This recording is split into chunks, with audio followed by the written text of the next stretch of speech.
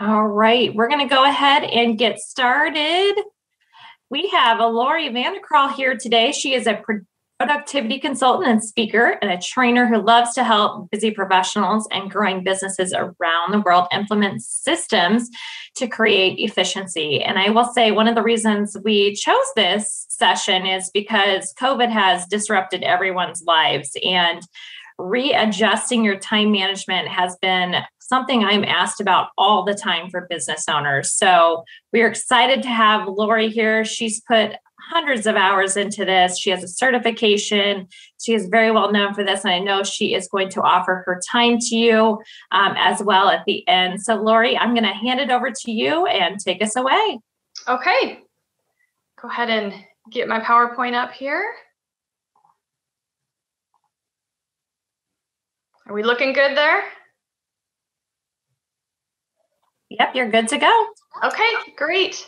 Well, thank you all for coming. I see a, a few familiar names out there. Um, so I appreciate you all spending a little bit of time in your morning with me. And I'm excited to share the top five keys to mastering your time management.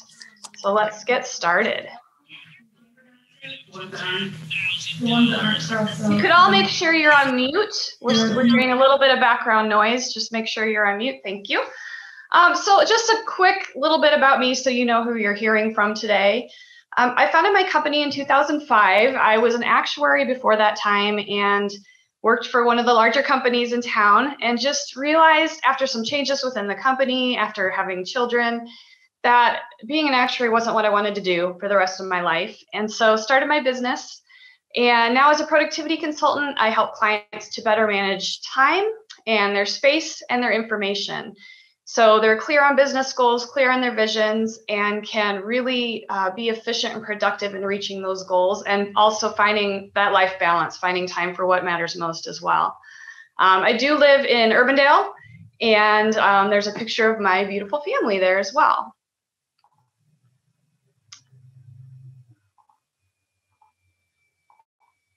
Here we go. Okay, so I would like to kick off by asking you to enter in the chat box your largest challenge relating to managing your time and getting things done. So when you saw that this was the five keys topic for today, what was the first thing you thought of? What pulled you in to say, oh man, I really struggle with this, or I could really get help with this?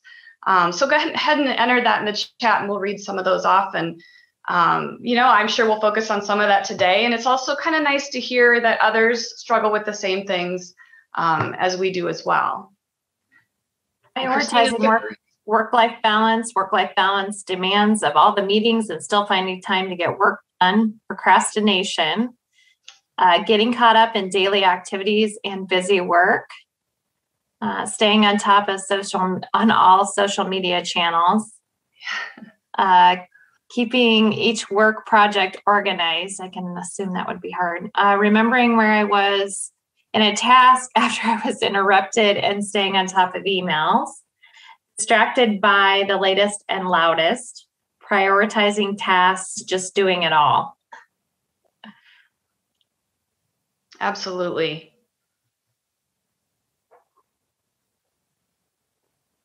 Training a team so I can focus on the broader picture rather than doing it all. Uh, all the busy work and could delegate. Yeah, yeah, good. Those are all great great ones. And, and you really are touching on some of the things we're going to cover today. Some things we won't be able to dive in today, but I think being aware of your challenges is the first step. Um, and so let's dive right in because I think we are going to be able to give you some quick quick things you can do to start making some change and attacking those challenges right away. So first I want to share some statistics. I was an actuary, so I have to dive into the statistics with my presentations. Um, but I think it's interesting to see AtTask.com did a study and they found that um, using a survey, people were only spending 45% of their day on their primary job duties. So if you think about that, 55% of your day is spent on things that aren't related to what you really should and want to be doing during the day. 14% spent in email, 12% administrative tasks, you have nine and seven percent on useful and wasteful meetings, um, a lot of time in meetings, interruptions. So we're spending our time on so many things that aren't helping us really to reach our goals. So I think it's really important to start to increase that 45%. How do we make sure we're spending our time on those right on the right things and the things that are going to help us reach our goals. So another study that was done by Maui Mastermind coaching firm, and this specifically looked at small business and entrepreneurs. They asked where where are you wasting your time? Uh, where where are we spending our time that again is not leading to those high value activities? So almost seven hours a day uh, were spent on low low value business activities that could maybe de- be delegated. And somebody brought that up in the chat box that sometimes we want to delegate things, but it takes time up front to train and to do that. And sometimes sometimes we just do it ourselves. Um, where really in the long run, it makes sense to figure out what someone else should be doing so we can really spend our time on those high value things.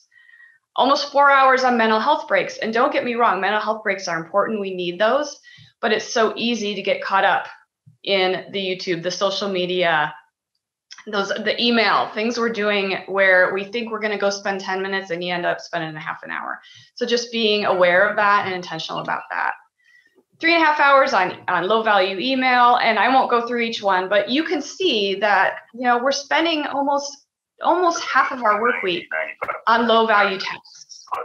Uh, we've got some background noise if everyone could make sure they're on mute. Thank you. Um, and so yeah so we want to make sure we want to figure out how can we spend more of our time on those high value activities less of our time on these low value tasks.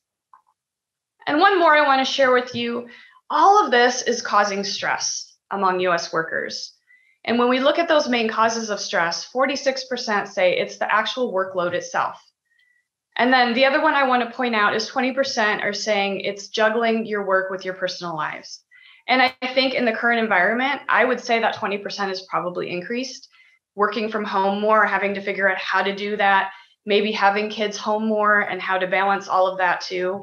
So I think that's even gotten worse in the last year or so. Yeah. Please make sure you're on mute. So today, what are we going to do? What are the five keys? The five things I want to share with you around time management is first, we are all unique in the way that we relate to time. We'll dive into that a little bit more and, and why that's important. I'll share with you the 12 critical areas of time management time management is huge. There's a lot of different pieces to understand and to tackle. And so I'll share with you what those different areas are. And then we'll break those down and talk about three different really categories of those 12 critical areas. Knowing what's important and how that relates to the way we spend our time. And then knowing how to plan and strategize so we can relate what's important to what we're working on at any single point in time. And fifth is being intentional and how to be intentional about what you're doing at any point in the day. So that's what we're going to dive into today. So, key number one, we're all unique. We're all unique in the way that we relate to time, the what might work for us in the way that we manage time. And so I think it's important to understand that we are all different and where you might fit into different areas of time management the same tool that works for one person may not work for the person sitting next to them. So it's important to understand that. So if we dive into this relationship to time and look a little bit before we get into specific strategies around time management, let's look a little bit at how our brain functions around time and how we all relate to time a little bit differently. So first I want to talk about the two types of attention. So we have selective attention and stimulus driven attention. Selective attention is consciously directed, it's our focus, it's internally controlled. So, this is where we're really working towards our long term goals and we're intentionally and consciously working and focused. Stimulus driven, on the other hand, is involuntary. It's those interruptions, it's those unexpected events or tasks that come up. Those are externally controlled outside of us. So, it's going to be you know, if you hear your kid scream, you're working from home and you hear a kid scream or a dog bark, it's going to be the email notification, the phone ring, uh, someone stopping in and, and knocking on your door. So these are stimulus driven. And this relates more than to what you're doing short term. And if you're constantly being distracted with these stimulus driven things, then you're not able to focus and work in that selective attention area. And these actually are different parts of our brain. The selective area is the prefrontal cortex, which is right behind the forehead. And the stimulus driven is the parietal cortex, which is right behind your ears. So when you get interrupted, you're switching back and forth in these different areas of our brains. And so you can see how that would constantly take you out of focus. And so what we really want to do is figure out how we can spend the majority of our time in that selective front uh, pre- prefrontal cortex area so that we can really focus and reach those long-term goals. It all comes down to who's in control. A lot of times I think we don't think we have control over our time, but we do. We have more control than we think. And it's about understanding again where the challenges are and then putting systems in place to start to address that. So one other area of the scientific or behavioral side that I wanted to share was executive function. This again is the way that the brain works and relates to time. And there's two different pieces of executive function. First, you have time horizon, which is the way that we see time. And this can vary based on a few different things. First is age. So, as you know, I have teenagers at home. If you are around teenagers, you know that they have a hard time seeing past even the next hour or so um, and looking and visualizing time in the, in the future or past a certain point. So, age can make a difference. As we grow, our prefrontal cortex matures and grows, and we start to be able to visualize and see time a little bit better. Your interest in what you're doing can also help you to see time and visualize time better. How motivated you are to reach a goal can help as well.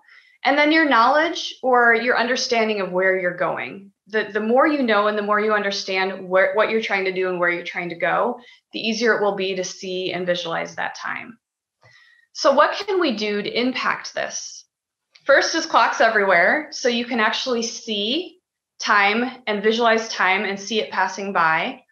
Uh, one tool that I recommend for this is called the time timer. If you struggle with seeing time, if you have ADD or ADHD, that's that's the challenge you may have is visualizing time. Uh, the time timer is an actual visual timer which shows you the time passing, and so it's a visual way to see time. And that comes in a physical form where you can just set it on your desk. You can use an app on your phone, an app on the computer. Um, there's a lot of different uh, products and tools they have. So check out timetimer.com for that. You can use alarms and reminders to make sure that you have that physical, actual uh, thing that's that's that's reminding you where you are and where you need to be and that sort of thing. So alarms and reminders. And then using planning tools and scheduling tools and starting to make that a habit and be, be um, more natural for you. And we'll dive into that a little bit later as well. That's all going to help you to see and visualize time better. The other area of executive function then is temporal discounting. So what this this says is this this is instead of how we see time, it's how we feel time. And you maybe have not really thought about this before that we all feel time differently. So what this means is the further out the reward is, the goal is, the punishment, depending on if you achieve it or not, um, the further it out it, it is, the less we feel it now. So we have to figure out how to make that more present, how to disengage from from the short term to be able to think into that long term and feel it a little bit more now. It also relates to how we feel the passage of time. And then also how good we are at knowing what the time is, the time needed is for a task or project. Some people are a lot better about knowing how much time they need to put aside for things than others. And so again, this can you can get better at this with practice and by setting up some habits and systems. So how can we impact the way that we feel time? We can make our consequences more immediate, frequent, external, noticeable, and consistent. So let me give you some examples of this. Uh, for making consequences more immediate, you you might look at a time where you waited until the last minute, procrastination, right? Where you waited to the last minute and what that felt. Was it stressful? Did you make mistakes? Were you up all night? Were you tired? Were you frustrated? Bringing that feeling back to the present can help make those consequences feel more immediate. You can also make them more frequent. So instead of saying, I've got to sit down and do this for work on this for two hours in order to get it done, and that's overwhelming, and how am I going to do that? I'm getting interrupted constantly set aside 20 minutes 20 minutes and then i'm going to take a break and i'm going to check my email or i'm going to take a walk or whatever it is make those those deadlines more frequent instead of looking at the whole end result that can help you to start to feel time better as well making them more external That can be um, having someone to hold you accountable, having an accountability partner, just saying it out loud, writing it down, making those consequences more external so that you're starting to feel um, those consequences and the time needed for that as well. Making them more noticeable or direct. An example of this might be you take your laptop to the coffee shop and you say, I need to really work and focus on this for two hours or however long it is. I'm going to take my laptop, but I'm not going to take my power cord. So I know that I only have until my laptop runs out of battery to get this done. So I better sit down and do it. So that's a very noticeable and direct consequence for sitting down and focusing and, and feeling that time pass. And then consistency really comes down to setting those routines, um, using those planning habits, strategizing, and starting to make that more natural. And we're going to dive into that a lot today, too. Having clear priorities will always help you feeling time, knowing what your priorities are, what your goals are, understanding where you have challenges, where those obstacles are for you. And then creating good habits around changing those those those bad habits and those challenges that you might have. And this all takes practice. It's not going to happen overnight. Uh, but practice will help this become more natural for you as well. So now that you have kind of a background of how we all relate to time differently and can start to think a little bit about how you might relate to time and where some of those challenges are for you, now I'm ready to share those 12 critical areas of time management. So what are the specific areas where you might have some challenges where you can impact that you might want to look at a little more closely? So I, I, do want to give you a little background of where these 12 areas come from. There's a tool out there called the Time Mastery Profile, and this was developed by John Wiley and Sons, which is the same creator of the DISC assessment, and I'm sure a lot of you have heard of the DISC personality assessment. Um, same creator, they created this Time Mastery Profile. So you take a survey, you get your results, um, and it shows you where you have strengths and where maybe you need to improve a little bit around these different areas of time management. And it also takes into account the importance of them in your job. So it relates them to what you do and how important priorities are in your job, how important meetings are in your job. And so you can really focus in on those things that have the highest priority and where you have the greatest challenges. So without further ado, the 12 categories of time management.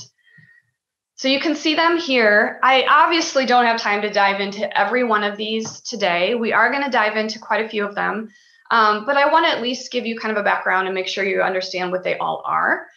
So attitudes, this is how open you are to change. It's how un- how well you understand your relationship to time and where your challenges are, and also your openness to, to working with others and the differences that they might have with time management.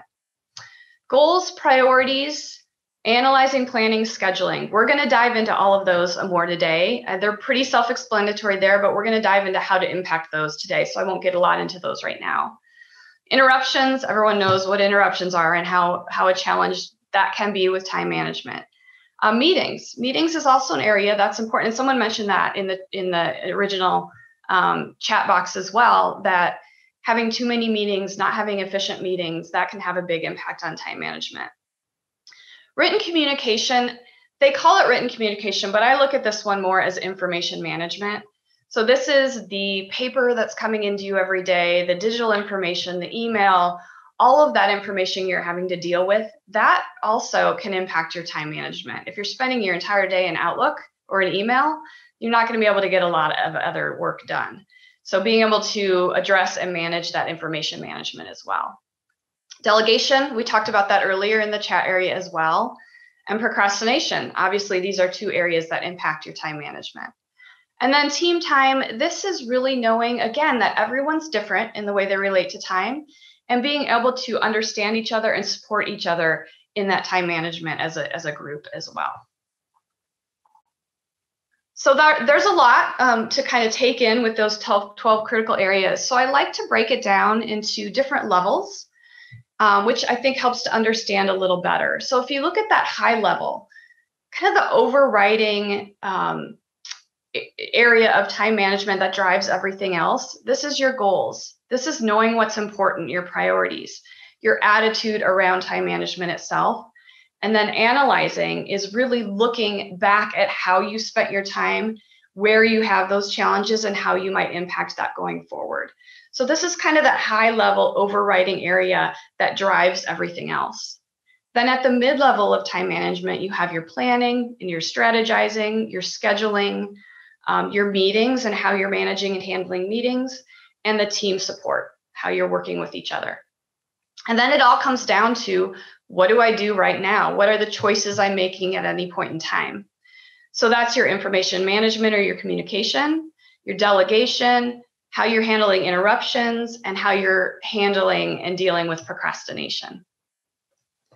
So today we're going to dive into a few of those. Uh, really, I picked the areas where one, I see the largest challenge with my clients, and two, the areas I think you can impact pretty quickly with some small changes.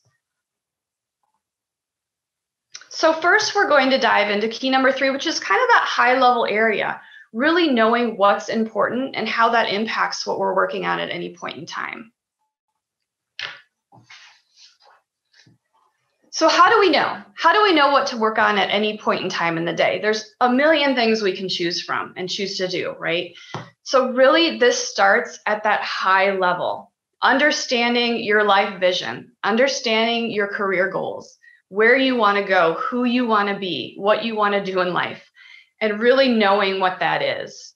Starting to set those longer term goals. Where do I want to be in five years? Where do I want to be in 10 years with my life and with my career, my work as well?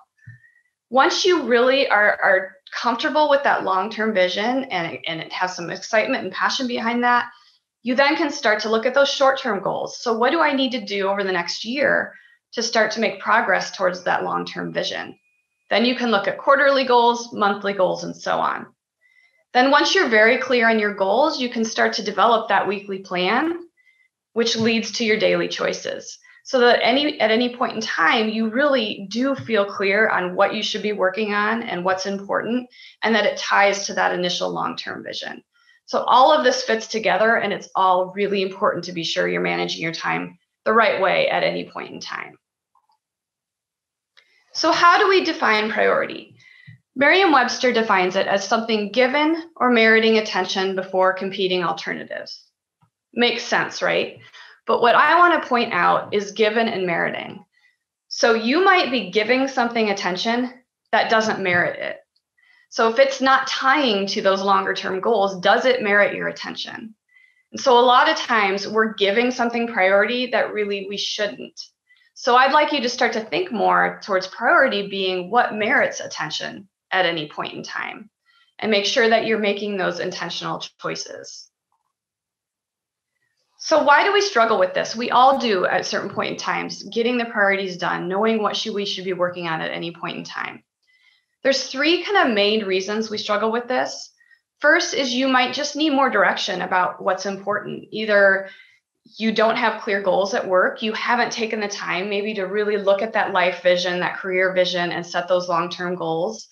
So you need to take the time to understand what your direction is you might wait for a time when you can concentrate. So you say, too many distractions. I, I can't focus for even an hour right now. So I'm going to have to put that off. I'm going to have to put that off. We do that a lot. I'm sure that sounds familiar to some of you. And so I'm going to, I'm going to talk a little bit. I'm going to give you an exercise you might be able to use to start to, um, to think about that and spend more of our time really in that focused, again, prefrontal cortex area so that we're not constantly putting those off and waiting for a time when we can concentrate. And third, you might prefer working on those things that are urgent um, and quick to finish. So we love to check things off a list, right? And so we might just grab those things that are easy and we know we can get done.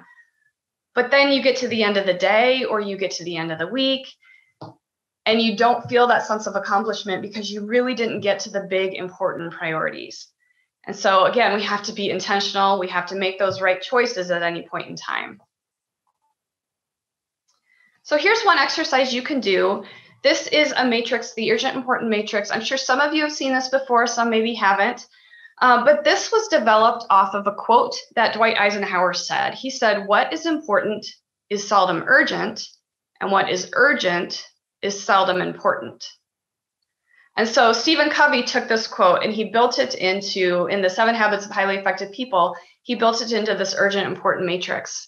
And what this shows is what you could do with this. You could take your tasks or the things you're working on at any point in, day, in the day and put these into the, these different categories. So is it is it important and urgent? Is it something that's important and it has to be done soon? Or is it urgent, but it's really not that important? In that situation, maybe I could delegate it to somebody else. It's not important to my priorities and my values and my goals. You might have important and not urgent. Those are the things that we need to schedule time to do because those a lot of times take that focus time that we need. And then you have your not important or not urgent. And those are things really you can have a don't do list and put those on the list. Those, those, or, maybe again, those could be delegated as well. But really, where we, we want to be spending at least 80% of our time is in this important and not urgent. And I think the challenge for a lot of people is they're not getting that time to spend in those areas where you really are bringing things forward and, and, and working towards reaching your goals. And so finding ways to find that focus time, be more intentional about spending your time here instead of constantly reacting into the urgent side of the matrix. And I will say there is an app out there called Focus Matrix.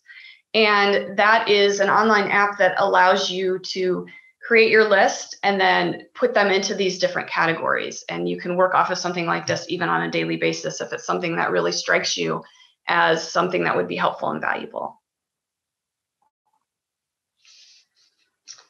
Okay, key number four. So now that you understand your priorities and your goals and you know where you want to go and you know what's important, then you can really take the time to plan and strategize so that you are working towards reaching those goals.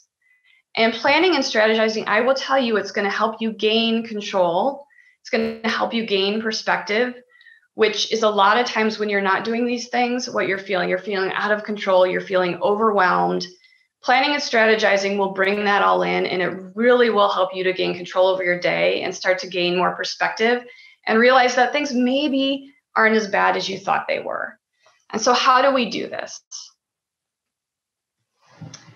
First, I want to explain how planning and scheduling are different. They're two different things. Planning is deciding what you're going to do it's an intention to do something. Where scheduling is deciding when you're actually going to do it. So you're committing to do it at a certain day, at a certain time. So they really are two different things. Planning and scheduling are going to allow you to be more proactive versus reactive. And I will tell you, almost every client I work with that's one of the first things they tell me is i'm so reactive i feel like i'm just reacting to everything that's happening throughout the day i'm reacting to the emails that i'm getting throughout the day and i'm not being proactive enough planning and scheduling is going to help you get to that point where you're being more proactive so one exercise pretty simple exercise you can do to help you get if you haven't done a lot of planning before and you're not super comfortable with it this is a, a pretty simple way to get started. And really, it's about getting everything off your head and onto paper or digitally if you if you prefer to work digitally. So the first thing you do is you start to think through what you do. Where are your different work areas on a daily basis? Those are your categories of work. They might be your annual goals, your goals for the year, your priorities for the year. Um, they may be buckets of work and different things that you do on a daily basis. So just to give you an example of this, these are my categories that I work off of every day, every week. First are my clients and my coaching. So I, you know, I every day, every week, I have things I need to do for my clients and my coaching clients, and so that's that's one of my categories. Two is product development. I have a big goal this year, which I'm going to talk about in a little bit, but I'm developing a new planner. And so that is a huge goal for my year. And I want to make sure every week that I'm making progress on that and I have action and tasks behind that. So that's a category for me as well. Business growth and income is another goal for me for the year. So I want to make sure I'm consistently making progress on that. That's a category. Administration, other business. When you own your business, you constantly have administration, uh, things that you need to do related to the business. So I have a column for that. I, I include my personal stuff with my, you know, it's it's so interrelated, and especially now that more of us are working from home. Um, so I, I have my personal column on there as well. I need to know what has to be done for me personally during the week. And then my kids, I have three uh, busy, busy kids. So I always have things I need to make sure I do for them. And then my board and board or volunteer work.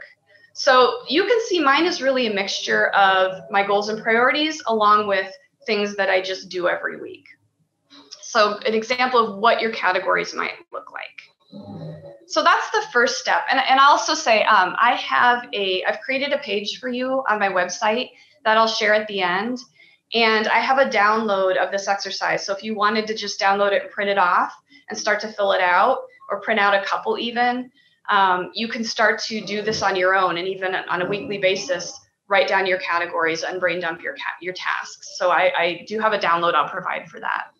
Once you have your categories figured out then you really just get everything off your mind into those columns. What do i need to do for each one of these categories? And you can think of that as a, on a weekly basis what do i need to do this week? You can look longer term. If you want to really just brain dump and get everything off your mind. You can look long term and then start to put target dates behind those. Or you might even just start simple and do it for a day. What do I need to do today for these different categories? So it gives you maybe a little different way to think about things than you maybe have in the past. And it starts to help you gain control over all of those different things that you have to do. if you're struggling with knowing what tasks you really have around all these different categories, I know sometimes that's a struggle where you, I have this big project and it's overwhelming. I know, I kind of know what the end goal is, but I don't even know where to start. The really powerful question you can ask yourself is what is my next action? What's one step I can take to move this project forward? And then once that action is complete, what's the next action? And then what's the next action? And so this is a really powerful question you can ask yourself to help you get through some of those overwhelming times. So this really is a process I'm teaching you where you're first categorizing, you're taking inventory, you're doing that brain dump of everything you need to do.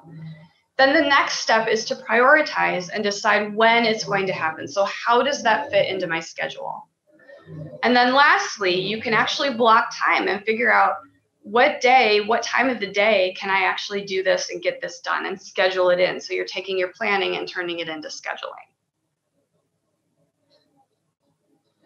So I do want to share, um, there is a tool that works you through this specific process.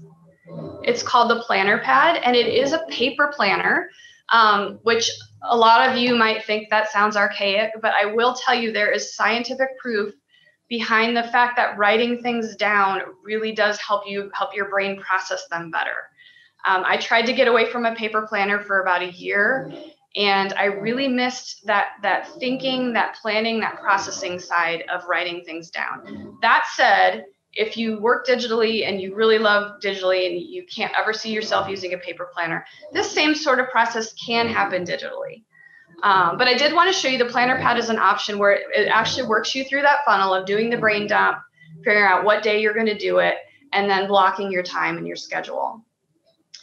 Uh, I wanted to mention quickly that there are some things that I believe are still missing from the planner pad. It's the only planner out there I know that uses this funnel process or this brain dump process, which I absolutely love. But it doesn't do any goal setting, it doesn't do any habit tracking, some of those other things that I think are important around time management. So I finally decided this year that I'm going to create my own planner. Um, I'm in the process of doing that, and it will be done by the end of the year. So stay tuned uh, for something that actually will will walk you through the process of what I'm talking about today. So key number five. So you've done your your goal setting, you know what's important, you're prioritizing, you've done your planning, you're strategizing, you've scheduled it in, you know what you should be doing on a weekly and a daily basis. Key number five then is to be intentional. So what does this mean exactly? This is the last piece of those three levels of time management I showed you. So what do I do at any certain point in time?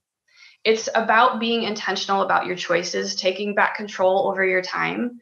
So it's knowing how to manage those interruptions, knowing how and when to delegate things and how to follow up on those, how to avoid procrastination. So it's taking that plan, and it's going to be a lot easier to do this once you have a good plan. But we all know that things don't go as planned 100% of the time. things are going to come up. And so you're going to have to make choices throughout your day of whether or not to take this new thing that's that's come up or to do what you had planned to do. And it's okay to choose to do something other than what you planned if you're intentional and making those choices um, the right way. So, one last thing I wanted to share really quickly is analyzing, because again, I think this is something you can do fairly quickly to help you impact your and understand your challenges with time management.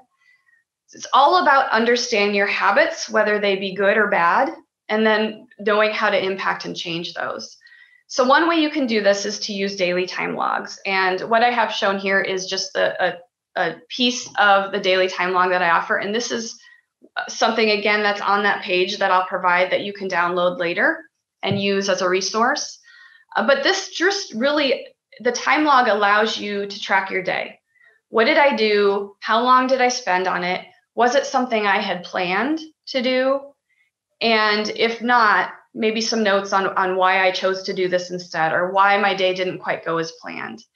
And at the end of the time log, ask some questions. You know, what went well? What didn't go so well? What would you change or impact going forward based on how things went today? So this is really going to help you to under, look back and understand maybe some of those bad habits that you didn't even realize were there and intentionally decide how you're going to impact and change those things going forward. Um, Kaizen is a Japanese word for incremental improvement, and that's really what it's all about. It's making small changes over time, starting to develop those new habits so this this starts to become more natural. Doing this is also another great benefit of this is it will increase your time sensitivity. So the way that you see time and you feel time that we talked about earlier, as you start to look back at what you did, how long it took, whether or not it was planned, you start to get a feel for how long things really do take. And you'll start to be more sensitive and start to feel and see that time a lot better. Um, so these time logs, while a lot of people don't love to do them, um, I haven't had one client tell me that it wasn't really valuable and better understanding themselves and how to how to make those changes going forward. So as I mentioned, I do have this page. It shows there at the bottom on my website, on my website, which is a lifemadesimple.com backslash five keys. There you will find those two downloads. And then I also have a link if you're interested in scheduling some time with me. I'm offering for the attendees on the call, a free one hour with me virtual call. And there's, you know, we can really do anything you want on that call. I have a productivity scorecard if you want to complete that. We can go through that and look over your challenges and offer some quick tips and things around that. We can address a specific challenge you might be having. Um, I had one person after a call uh, call me and just wanted to help me work through their categories with them on that brain dump exercise. So there may be something specific you want to cover as well, or just general Q and A. Um, anything you want to do with that call uh, is is you know I'm happy to help with. So check that out on my website, Five Keys, and you can find that link as well as those couple downloads that I mentioned. So change takes time and practice, obviously. Um, the good news is that with time management, I've seen it time and time again that small changes really can yield big results. So, some of the things we've talked about today, you can do pretty quickly. You can do in the next day or two. And just kind of see how you feel about it. See if you start to gain control, start to gain more perspective, and then take the next step and the next step. Uh, so, so know that it doesn't take it doesn't it doesn't don't be overwhelmed. It doesn't take a lot to make big changes um, the the level of perspective that you start to get and peace and accomplishment is is well worth any of those efforts you put in. So i always like to ask with my presentations what will you do next? So a lot of times you go to webinars or you go to presentations and you think oh that was all great. I, I learned some things. And then you go back to work and you get lost in the day to day and nothing happens so I'm asking you if you could think of one thing that you learned today that you might take action on in the next seven days. And go ahead and write that down because, again, writing it down makes it more direct and external. It helps you process through that a, a little bit more, and it's more likely that you'll get it done. So, what is one action you can take in the next seven days to start to impact your time management? All right, so we have about 15 minutes for Q&A. So uh, you can either enter your questions in the chat box, or if you want to unmute or um, show your video at that time, that's fine as well, and we can talk that way, uh, whatever you're most comfortable with questions, you feel free to come back on with your cameras if you'd like to uh, see each other. I think one question I get, uh, Lori, I'll just throw out there to get questions started is multitasking. So many people have had to multitask and feel more burnout from the multitasking. Any advice on that? Don't do it. multitasking, yeah. I mean, it especially again in the home environment and and going back and forth between home and work it's it's there it happens and that really it gets it's exactly what i was talking about earlier with the the different parts of the brain. Multitasking is switching back and forth. That's what it is. And there's i think they say there's like 5% or less of the human population that can effectively multitask that their brain is wired to be able to do that but the rest of us can't. And so every time you're switching back and forth you're losing time to get back into that focus or what you were doing before. And so it's all about the the systems I talked about today, putting that planning in place, setting aside that focus time, knowing, okay, I need 2 hours to focus on this. Can I go somewhere else? Can I go to a coffee shop? Can I put a sign on my door? Can I turn off the phones? Whatever whatever it is to stop those distractions. Um, but in order to do that, you have to be clear on your priorities, clear on your goals, and have that plan in place. All right, Felicia has a question. Felicia, go. You can go ahead and ask your question. Yeah, I you mentioned a couple of times ADHD, and I heard words that I I personally have ADHD, and I own a business and run a team, and that's been a huge struggle of mine. I'm wondering if you do any specialized work or anything geared towards ADHD minds in your coaching and what that looks like. I I will. I've worked with people with ADD, ADD, ADHD. I have some understanding of it, and I know certain tools and um, visuals and things like that that work. I will say though, I am not trained specifically in it. There are people who are. Um, so if you are interested in that and want to reach out, we can chat, or um, you know, depending on your specific needs, I could provide you with some resources around that as well.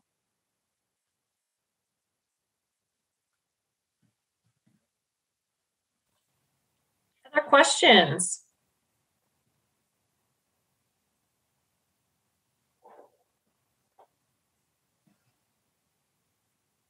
Are you all multitasking right now?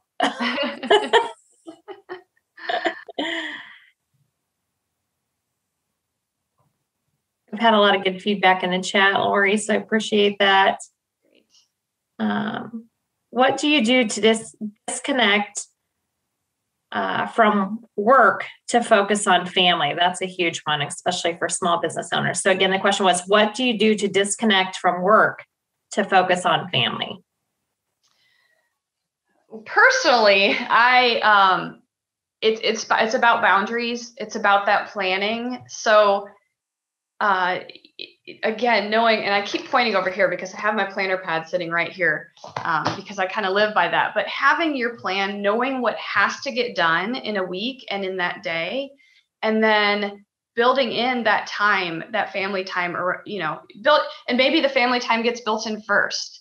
For me, my exercise comes first. I need to get my exercise in during the week to be mentally strong, to be less stressed. And so I build things around my exercise. So it's putting in those priorities, those big rocks, if you've heard that term, and then building around that. So as you're doing your plan for the week, it's looking at that family time as well and knowing where that's going to fit in. And then being disciplined enough to stop work at that certain time. So you go spend time with the family, making those choices intentional. Um, I think a lot of times we get so lost in what we're doing that we just keep working and then a couple hours later we go spend time with family and we had intended to do it a lot sooner or it's it's dinner time it's bedtime whatever it is. And so it's stepping back taking a few minutes to really say okay what should i be doing right now? Is it important for me to continue working or is it time to go spend time with the family And so just really setting those boundaries, knowing what your goals and your priorities are. I actually this this brings up a good story. I did a presentation um, last month for a group and it was a half a day workshop. So we really were able to dive into those goals and priorities and that life kind of that life vision and where you want to go. And we had a gentleman in there who um, had a really stressful job, was going back to school, and he was doing something else at the same time, and he wasn't didn't have a lot of time left for his family. And walking out of that session, he had made the decision to put family first, and everything else would have to t- come around it. And I've heard in the meantime that he's spending way more time with his family, taking weekends off. And so it, it, it really is an intention. It's understanding what's important and then being intentional about the choices and, and the boundaries that we put around that. A little bit of a follow up question to that, Lori. I have had people um, have come to me and said the world has kind of flipped to this 24 7 mentality with COVID. Advice on putting those boundaries in place. It doesn't seem like there's a nine to five anymore, and employers kind of expect you know their teams to be flexible do you have advice on that um, small business owners are doing everything again they feel like they have to because they need the work. Any advice you want to add on to that? Yeah i, I do and i think people that are working from home now maybe in the corporate world they're starting to feel a lot like small business owners or business owners have felt for a long time because as a business owner you really kind of are 24 7 you can always be working you can always be thinking about your business and i think everyone's starting to be in that situation now where you have an office at home you can go plug in if you want you can work you are getting everything on our phones now. And so again it comes down to boundaries for one thing but we we set expectations. So if you're constantly reacting to emails and texts as they come in right away people are going to always expect that from you. And so for me I set the boundary a long time ago or the guideline a long time ago that I will get back to clients within 24 hours. And so if I get something at night or after what I consider work hours, I'll respond the next day. It doesn't have to be right then. I may make the choice to respond at that point, but generally my guideline is the next day. So I can take an evening and go to a soccer game or whatever it is and not feel like I'm missing out on something from work.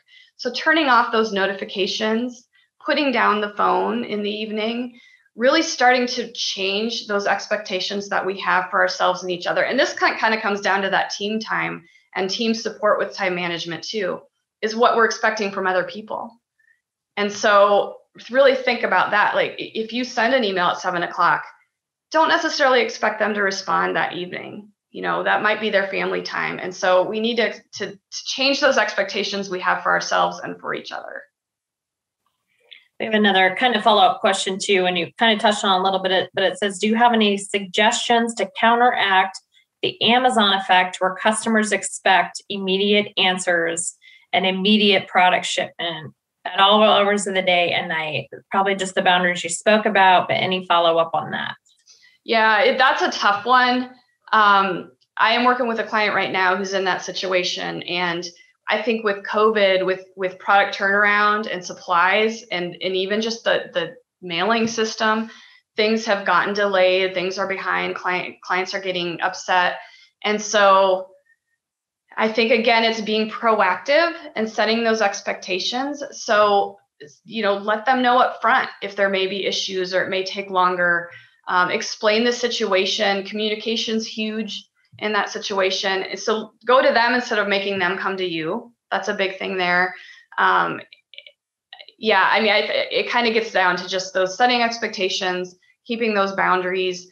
Um, I, I, I, hate to say it this way, but it, it what it comes down to a lot is again going back to your life priorities and your life goals and what's the worst thing that would happen? Is it life or death? If you don't get back to them that evening, what's the worst thing that will happen the next morning you know so, so kind of really thinking through those choices and being intentional versus just immediately reacting sometime the choice will be yes i need to get back this is important enough i need to get back but a lot of times it really will be okay if you don't